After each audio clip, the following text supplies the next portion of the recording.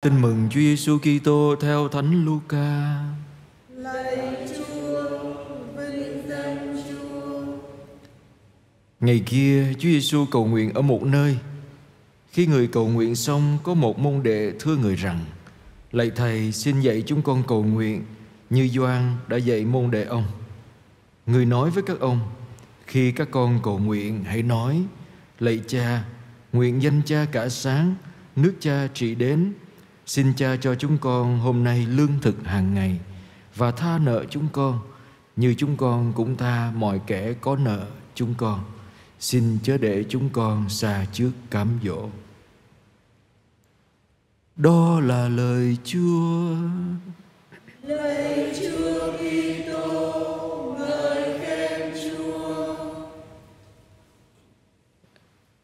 Kính thưa anh chị em, trên đường đi công tác về tôi ngồi trên máy bay chung với một bà cụ ở giữa và một người phụ nữ trẻ ở bên bên ngoài, nghĩa là hàng ghế ba người.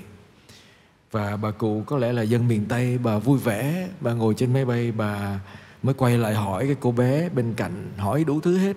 Và dĩ nhiên bà không nói được tiếng Anh nên khi tiếp viên nhắc bà cái gì thì bà luôn luôn hỏi tôi, tôi phải dịch lại.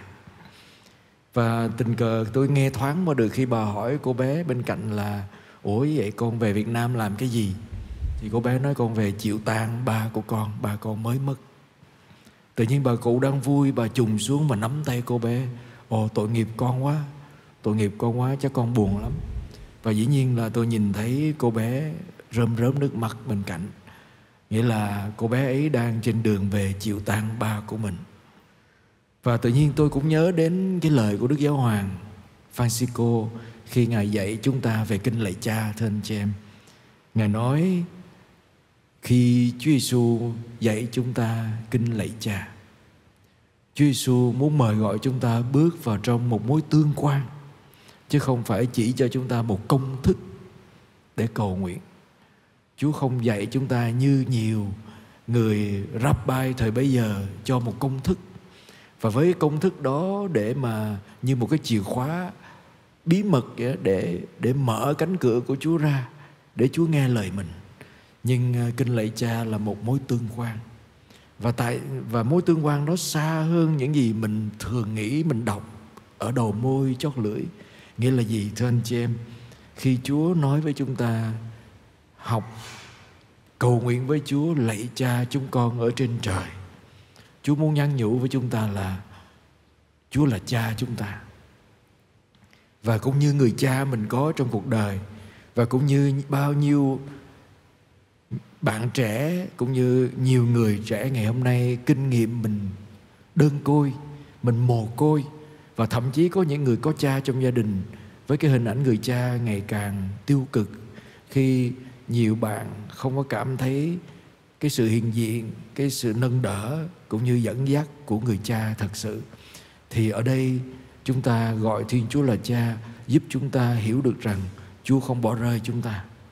Hơn thế nữa, chúa là cha chúng ta, là người cha yêu thương, quan tâm và gửi ngay cả người con là Chúa Giêsu là anh cả của chúng ta đến để đồng hành, để đi cùng chúng ta, để chúng ta không có đơn chiếc trong hành trình cuộc đời. Đó là một điều, một cái sự an ủi rất lớn, nhưng mà nó sâu hơn cả một cái công thức cầu nguyện. Bằng đây là một mối tương quan mà chúng ta có được cha. Chúng ta không còn đơn côi, đơn hành trên hành trình cuộc đời này nữa. Điểm thứ hai của kinh lạy cha, mời gọi chúng ta hiểu điều gì, thưa anh chị em, khi mình nói lạy cha chúng con ở trên trời. Tự khắc mình hiểu được rằng xung quanh mình mình không phải một mình ngoài việc mình có cha, mình cũng có anh em của mình. Và dĩ nhiên, cái điểm thứ hai trong trong cái kinh này giúp chúng ta hiểu được rằng khi mình nói lạy cha chúng con, mình phải ghi nhận mình có bao nhiêu người anh em là những con người, những người cùng nhận được, nhìn nhìn nhận Chúa là cha. Trong thế giới ngày hôm nay, khi người ta càng ngày càng thù hằn nhau, khi trong gia đình mà anh em cũng không nhìn mặt nhau. Và thậm chí người ta từ cả cha của họ, thì kinh lạy cha lại nhắc chúng ta rằng chúng ta là anh em của nhau. Tất cả mọi người trên trái đất này đều là con của chúa hết. Vậy chúng ta có ghi nhận, nhìn thấy nơi người anh em, những người trước mặt mình là có cùng một cha trên trời hay không? Và chúng ta đối xử với những người anh em đó như thế nào? Đó cũng là một cách để chúng ta nhìn lại cuộc sống của chúng ta. Từ đó chúng ta mới xin cho thánh ý chúa được thực hiện trên thế gian này. Chúng ta thường đến với chúa như là muốn chúa thực hiện ý của mình.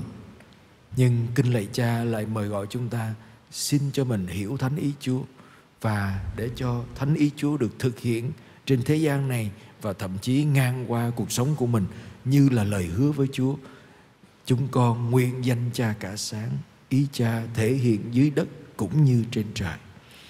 Và điểm thứ ba mà anh chị em có thể thấy trong kinh lạy cha rất là sâu sắc là xin cha cho chúng con lương thực hàng ngày. Lương thực ở đây hồi nhỏ tôi thường nghĩ đến là xin chúa cho mình bữa cơm cơm ba bữa. Cho con được à, một ngày ba bữa cơm, không có bữa nào phải thiếu, phải đói. Hồi xưa, hồi còn nhỏ tôi nghĩ như vậy, tại vì nghĩ là mình lương thực mà nhưng uh, lương thực ở đây mình cũng phải hiểu là tất cả những gì làm nên hạnh phúc và bình an của mình. Xin chúa cho con điều mà làm nên cuộc đời hạnh phúc bình an của con. Nhiều khi mình mình nhắm vô của ăn hay mình nhắm vô của cải đó thì cái đó nó chỉ là những gì thỏa mãn tức thời. Nhưng nếu mình xin chúa và mình tin rằng chỉ có chúa mới cho chúng con cái lương thực làm nên cuộc đời của con, thì chúng ta thấy nó rộng hơn cả thức ăn. Nó là bình an, nó là niềm vui, nó là cảm xúc, nó là tình yêu.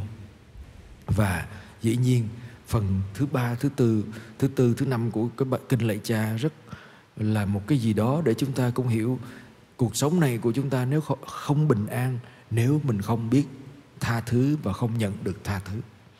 Và vì thế khi chúng ta xin với Chúa rằng xin tha nợ cho chúng con, cũng như chúng con tha nợ cho mọi người có nợ với chúng con. Mình xin như vậy, mình mình có lường trước được cách mình xin, mình đọc mỗi ngày đó. Tha thứ cho con theo cách mà con tha thứ cho người khác. Mình nói với Chúa Chúa ơi, tha thứ cho con, tha tội cho con, cũng như cách con tha thứ cho người khác. Nghĩa là cách mình tha thứ cho anh chị em mình những người có lỗi với mình quyết định cách Chúa tha thứ cho mình. Nhiều khi mình à, mình đòi Chúa tha thứ cho mình thì dễ, nhưng mình lại không tha thứ cho những người xung quanh mình. Nhưng mà xa hơn nữa, thưa anh chị em, một cái điều mà hay xảy ra với chúng ta rất là nhiều đó. Nhiều khi mình cũng không tha thứ cho chính mình. Chúa tha thứ cho mình mà mình không tha thứ cho mình. Mình không có tha thứ như Chúa tha thứ cho mình. Nhiều khi có những gì đó mình yếu đuối, mình lỡ vấp phạm mình lỡ sai lầm đó anh chị em. Nhiều khi mình à, mình kiêu ngạo đến mức mình không cho phép Chúa tha thứ cho mình. Mình giữ cái cái cái cái sự oán hận với chính mình, cái cái cảm giác mặc cảm tội lỗi đó mình mang theo và mình không tha thứ cho mình nữa. Vậy lời kinh của chúng ta nói với Chúa nó phải được thực hiện trong chính cuộc đời chúng ta và qua cách chúng ta tương quan với người khác. Để làm chi để từ đó chúng ta mới xin Chúa giúp mình vượt qua khỏi cám dỗ mỗi ngày. Thưa anh chị em, lời kinh lạy cha cũng là lời kinh mà Chúa Giêsu đọc với Chúa Cha. Lời nguyện của Chúa Giêsu và lời kinh lạy cha là lời kinh mà chúng ta đọc nhiều nhất mỗi ngày trong cuộc sống. Ước chi lời kinh này thấm nhuần cách chúng ta sống, cách chúng ta tương quan với Chúa, với chính mình và với anh chị em xung quanh mình. Amen.